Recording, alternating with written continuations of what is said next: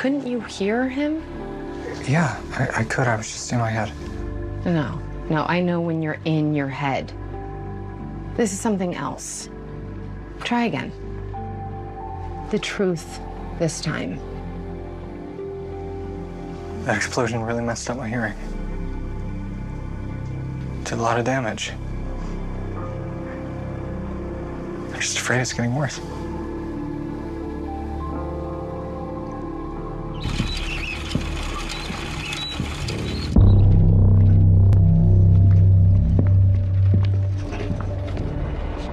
Hi, I'm Agent Cooper with the FBI.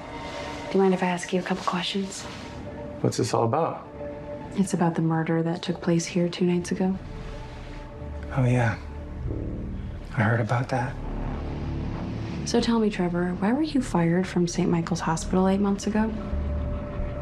I, I wasn't fired. I quit. Oh. So it wasn't because you were caught stealing drugs from the pharmacy. Kill the nurse here for that exact same reason because she caught you with your hand in the cookie jar. I wouldn't do that if I were you, bro. Not unless you want me to break both your arms.